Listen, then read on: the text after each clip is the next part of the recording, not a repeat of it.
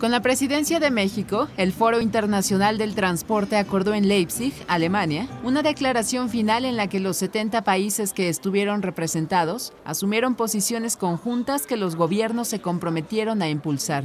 Es un honor también para México que se fijen en lo que estamos haciendo en este momento y que nos permite presidir el foro.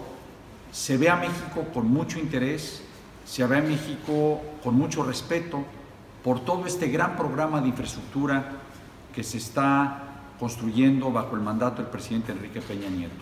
De esta manera concluyó la presidencia de México en este relevante foro internacional que forma parte de la Organización de Cooperación y Desarrollo Económico, con sede en París.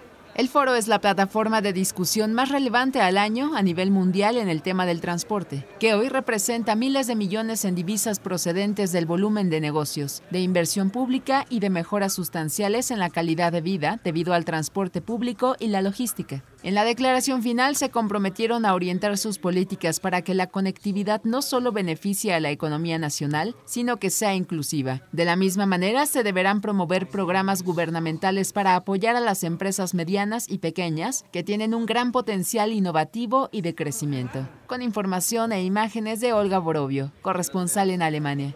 Notimex.